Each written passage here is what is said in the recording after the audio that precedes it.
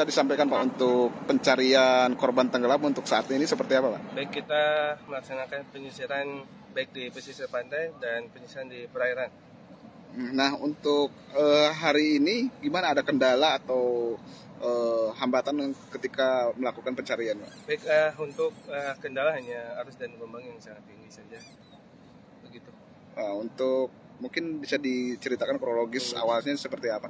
Jadi untuk kronologis awalnya uh, korban sedang mencari keong, keong goong ya, keong laut begitu. Kemudian Lalu kenapa bisa di... arus? Oh langsung langsung terseret. Arus. Apa Berapa karena? Uh, untuk uh, korban dua. Dua orang. Jadi satu wilayah dua titik. Jadi titik pertama dan titik kedua begitu. Awalnya berapa orang? Uh, awalnya tiga, satu selamat, yang dua sudah terseret arus dalam pencarian. Berapa titik nih Pak dilakukan pencarian? Uh, dua titik uh, di titik kita Batu Hiu dan Kares. Radiusnya berapa meter atau kilometer dari lokasi kejadian? Baik uh, dari TKP kita radiusnya hingga 2 kilo. 2 kilometer berarti ya? Iya, ke tengah laut atau gimana? Ke tengah laut apa sekitar? Ya, sekitar TKP lalu nanti melambung ke tengah laut.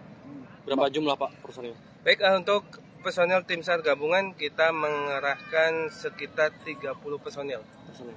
Dari pihak mana aja?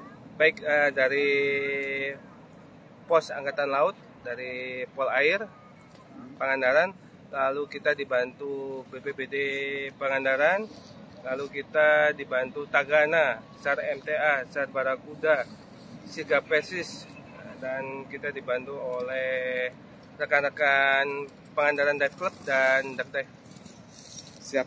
Nah dari pantauan Pak ini ada tenda-tenda. Apakah milik keluarga korban atau gimana? Baik uh, untuk tenda-tenda kita secara swadaya dari pemerintah desa dan keluarga.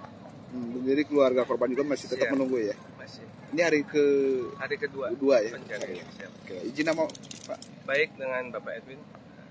Kanit Basarnas Pangandaran. Oke bersama dari Pak Erik BPPD Pangandaran.